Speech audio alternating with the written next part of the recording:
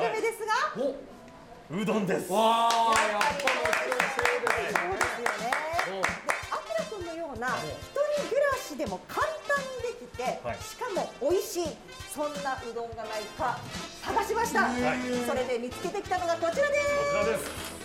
稲庭うどんの本場秋田県から届いたお湯を注ぐだけの稲庭うどんです。こちらね、あの丼に麺てほ、でお湯を注いで、これでできます。えそれでこれができるんですか？簡単。すごく簡単です。まあ電子レンジでもできますけれども、ほ本格的な稲庭うどんが家でいただけるって嬉しいですよね。すごいね。はい、実はですね、この秋田で350年以上伝わるこの稲庭うどんなんですが、手延べで作ってるんですよ。4え日間かかります。ー、本当はい、に、でこのようにフリーズドライにして皆さんに発送するように食べていただくようにするために、なんと2年間の試行錯誤を重ねました、即席にできました。ノンフライでヘルシーです。その出汁なんですけれどもほ秋田県といえば比内地鶏ですこのめんつゆです。比内地鶏のめんつゆ？すごいね。本格的なんです。どうぞ召し上がってください。えー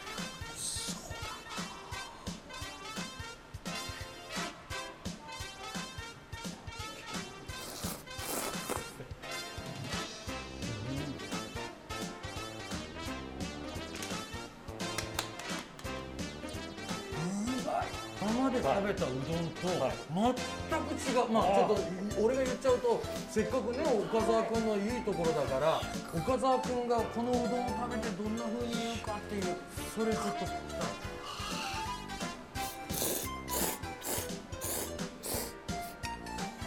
ぷっぷりがいいですね。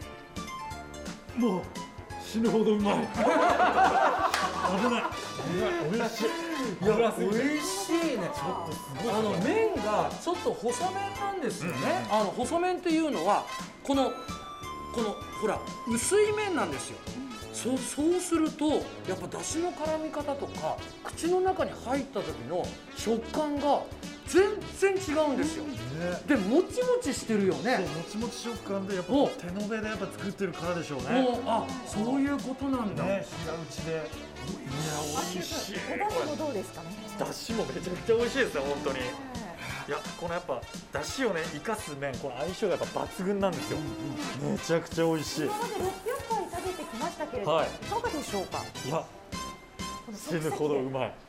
これはなんかもう普通にお店で食べてるぐらいのレベルですもんね。これが即席でできるのはかなりクオリティ高いですよ。かなり割と量あるよね。こう見えてうん、量あのあこれだけと思うかもしれないけど量は結構あります。そうですね。なんか卵を落としたりとかしてちょっとアレンジしてもねあそっいいかかもしれないだですから逆にねこうあれ比内地鶏だからあの鶏とかちょっとさ炙ってこれを乗っけたりして食べたら最高かもしれないですね。いいですね、今回ご紹介した商品もちろんウェブ天神で手軽に購入することができます